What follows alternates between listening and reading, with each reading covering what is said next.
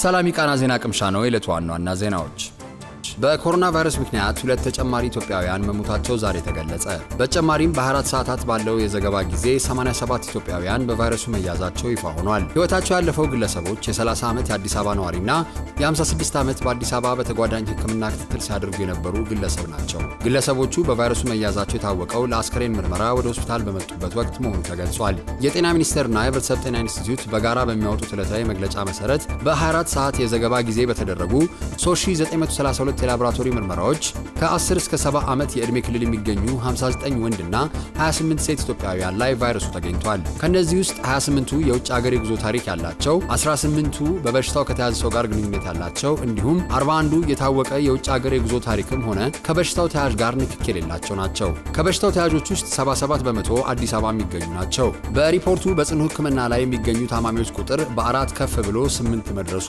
እንዲሁም 6 ሰዎች ከኦሮሚያ፣ 8 ሰዎች ከሶማሌ ክልል ከቫይረሱ ሙሉ ለሙሉ ማገገማቸው ተገልጿል። እስካሁን በኢትዮጵያ በቫይረሱ መያዛቸው የተረጋገጠ ሰዎች ቁጥር 1344 ደርሷል።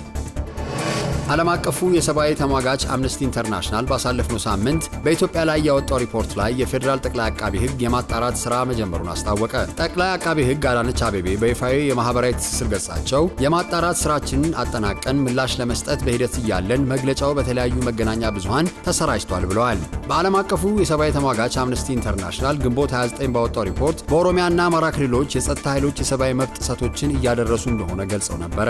ሪፖርቱ እንደሚለው በምስራቅ ጉጂ ዞን በጎሮዶላ ወረዳና በምዕራብ ጉጂ ዱግዳ ዳዋ ወረዳ ውስጥ ከተገደሉ 39 ሰዎች ውስጥ 25ቱ በኦሮሚያ ፖሊስና በመከላከያ ሰራዊት አባላት ሕይወታቸው እንዳለፈ ገልጿል። በአማራ ክልልም በማህበረሰብ መካከል በተፈጠረ ግጭትና የጸጥታ ኃይሎች በተሳተፉበት ቢያንስ 130 ሰዎች ተገድለዋል ብለዋል። በሪፖርቱ ዙሪያ የሁለቱ የክልል መንግስታት ባለፈው ሳምንት መጨረሻ መግለጫ የሰጡ ሲሆን የኦሮሚያ ክልል ሪፖርቱ አሁን ባለንበት ደረጃ በአካባቢው የሚነሱትን አሉባልታዎች መሰረት ያደረገ የተሳሳተ መረጃና ሪፖርት በማውጣቱ የኢትዮጵያንም ሆነ የኦሮሚያን እውነታ ያላረጋገጠ በመሆኑ ዳግመኛ እንዲታይ ሲል አሳስቧል። ጠቅላይ አቃቢ ሕጓ በፌስቡክ መግለጫቸው የአምነስቲን ዘገባ ከይዘቱ ከጉዳዩ እውነተኝነትና ገለልተኝነት የማጣራት ስራችንን በቶሎ ለማጠናቀቅ እየሰራን ነው ብለዋል። አክለውም በማጣራት ስራችን በሚገኘው ውጤት ሪፖርቱ እውነት በሆነበት ልክ መወሰድ ያለባቸውን እርምጃዎች እንደሚወስዱ ገልጸዋል። ሐሰት በሆነበት ወይም በተጋነነበት አኳያ ደግሞ ከአምነስቲ ኢንተርናሽናል ጋር በመወያየት ሪፖርቱ እንዲስተካከል እንደሚጠሩ እና ይህ ባይቻል እንኳን ህዝቡና ዓለም እውነቱን እንዲያውቀው በመረጃ አስደግፈን እናሳያለን ብለዋል። በፊት ከተገለጸው በተለየ መልኩ ሚኔሶታ በፖሊስ እጅ የሞተው ጆርጅ ፍሎይድ ሕይወቱ ያለፈው በመታፈን መሆኑን ገለልተኛ የአስከሬን ምርመራ አረጋገጠ። በሟቹ ቤተሰብ አመቻችነት የተደረገውና በሚሽገን ዩኒቨርሲቲ ባለሙያ አሊሺያ ዊልሰን ይፋ የሆነው ገለልተኛው የአስከሬን ምርመራ ውጤት የፍሎይድን ሞት አንገት በመጫን የተፈጸመ ግድያ ብሎታል። ይህም ውጤት ከዚህ በፊት የሚኔሶታ መስተዳድር የጆርጅ ፍሎይድን አንገት የጫነው ፖሊስ እንዲታሰር ለፍርድ ቤት ባቀረበው ክስ ላይ የህልፈተ ሕይወት ምክንያት ብሎ የዘረዘረውን የሚቃረን ነው። ይህ ክስ የሚኔሶታ ሄንፔን ካውንቲ ወይም ክፍለ ከተማ አስከሬን መርማሪን ቅድመ ሪፖርት ጠቅሶ የፍሎይድ ህልፈተ ሕይወት ምክንያት መታፈን ወይም መታነቅ እንደሆነ የሚደግፍ ምንም ግኝት የለም ብሎ ነበረ። ፍሎይድ ከዚህ ቀደም የነበሩ እንደ ልብ ህመም የመሰሉ የጤና እክሎች እንደነበሩበትና በሰውነቱም ውስጥ ጫና የሚያሳድሩ ህመም ማስታገሻዎች እንደነበሩ ክሱ ጠቅሷል። የፍሎይድ ቤተሰብ በዚህ ሪፖርት ቅር በመሰኘት ነው ገለልተኛ አስከሬን ምርመራ ያዘዘው። ገለልተኛ ሪፖርቱ ይፋ በሆነ በጥቂት ጊዜ ውስጥ የሚኒሶታ ሄነፒን ካውንቲ አስከሬን መርማሪ ይፋዊ ሪፖርት የፍሎይድን ሞት አንገት በመጫን የተፈጸመ ግድያ ብሎታል።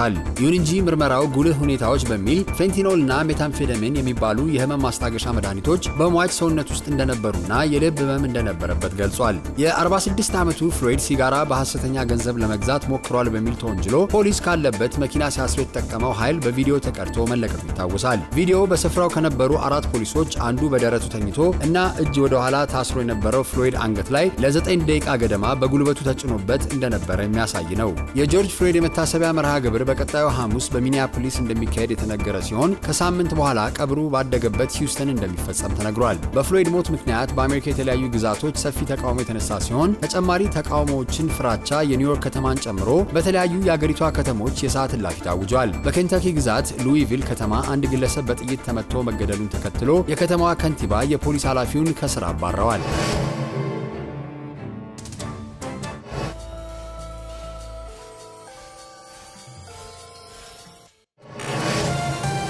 በሶማሌላንድ የበርበራ ወደብን በኢትዮ ሶማሌ ወሰን ከሚገኘው ቶጎጫሌ ጋር የሚያገናኘው መንገድ ግንባታ የመጀመሪያ ምዕራፍ ተጠናቆ ትናንት ተመረቀ። በሶስት ምዕራፍ ተከፋፍሎ ከሚገነባው የ234 ኪሎ ሜትር መንገድ የመጀመሪያው ምዕራፍ ከሶማሌላንድ መውጫ የሆነ የ12 ኪሎ ሜትር መንገድ ነው። ይህን መንገድ ትናንት የሶማሌላንድ ፕሬዚዳንት ሙሴ ቢሂ አብዲና የትራንስፖርትና highway ልማት ሚኒስትር አብዱላሂ አቡበከር ኦስማን በተገኙበት ተመርቋል። መንገዱ ከዚህ በፊት 7 ሜትር ስፋት ያለውና 6 ቶን ብቻ እንዲያስተናግድ ተደርጎ የተሰራ ሲሆን አዲሱ መንገድ ግን 40 ቶን የመሸከም አቅምና 11.3 ሜትር ስፋት አለው። አጠቃላይ የ234 ኪሎ ሜትር መንገዱ ግንባታ ወጪ 400 ሚሊዮን ዶላር ሲሆን የሚሸፍነው በአቡዳቢ ፈንድ ፎር ዴቨሎፕመንት የተባለ ተቋም ነው። በሁለቱ ሀገራት መካከል ያለውን የንግድ ልውውጥ እንደሚያሳልጥ የታመነበት ይህ መንገድ በተለይ ኢትዮጵያ የበርበራን ወደብ በስፋት እንድትጠቀም የሚያስችል ነው። በኢትዮጵያ በኩል ከጅግጅጋ እስከ ቶጎ ጫሌ ድረስ አስቀድሞ የተገነባ አስፓልት መንገድ አለ። ኢትዮጵያ በ2008 ከሶማሌላንድ እና ከተባበሩት አረብ ኤምሬትስ የሎጂስቲክስ ኩባንያ ዲፒ ወርልድ ጋር የበርበራ ወደብን ለማልማት በሽርክና መዋዋሏና የ19 በመቶ ባለድርሻ እንደነበረች ይታወሳል። በዓመት ሶማሌላንድ 800 ሚሊዮን ዶላር የሚጠጋ ምርትን ወደ ኢትዮጵያ ትልካለች። የኢትዮጵያ አየር መንገድ የኮሮና ቫይረስ ከተከሰተ በኋላ ከ120 ሚሊዮን ዶላር በላይ በማስገባት ወርሃዊ ወጪውን መሸፈን መቻሉ ተገለጸ።